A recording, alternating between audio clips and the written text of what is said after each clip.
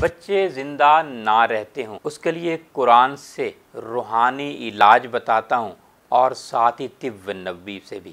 وَنَجَّيْنَاهُ وَآلَهُ مِنَ الْكَرْبِ الْعَظِيمِ۔